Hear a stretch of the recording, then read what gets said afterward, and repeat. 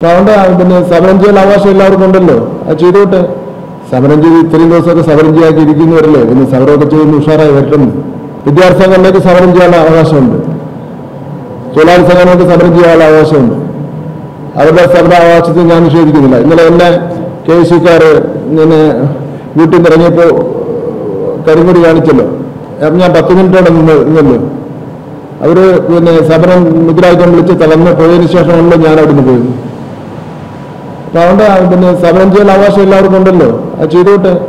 സമരം ചെയ്ത് ഇത്രയും ദിവസമൊക്കെ സമരം ചെയ്യാക്കി ഇരിക്കുന്നവരല്ലേ? പിന്നെ സമരമൊക്കെ ചെയ്യുന്ന ഉഷാറായി വരട്ടെന്ന്.